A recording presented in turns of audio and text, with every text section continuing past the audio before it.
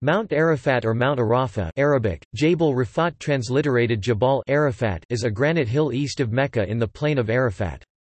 Arafat is a plain about 20 kilometers 12 miles southeast of Mecca.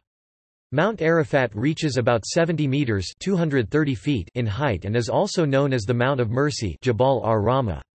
According to Islamic tradition, the hill is the place where the Islamic prophet Muhammad stood and delivered the farewell sermon to the Muslims who had accompanied him for the Hajj towards the end of his life. Muslims also say that it is also the place where Adam and Eve reunited on earth after falling from heaven. It is the place where Adam was forgiven, hence it is also known as Jabal ar-Rahmah the Mount of Mercy. A pillar is erected to show the place where the aforementioned took place. On the ninth of the month of Dhu al-Hijjah pilgrims go to Arafat from Mina, for the most important part of the Hajj.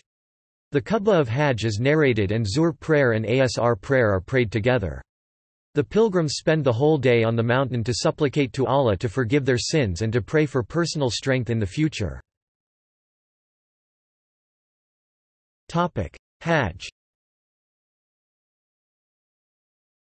Arafah rituals end at sunset and pilgrims then move to Muzdalifah for Maghrib prayer and a shortened Isha prayer and for a short rest. The level area surrounding the hill is called the Plain of Arafat. The term Mount Arafah is sometimes applied to this entire area. It is an important place in Islam because during the Hajj, pilgrims spend the afternoon there on the ninth day of Dhul Hijjah. Failure to be present in the plain of Arafat on the required day invalidates the pilgrimage. Since late 2010, this place is served by Makkah Metro. On a normal Hajj, it would be around 21 kilometers 13 miles to walk. Topic: In literature. The hill is also referenced in James Joyce's novel Finnegans Wake. Topic: See also Dua Arafah Hajj. Hijaz. References.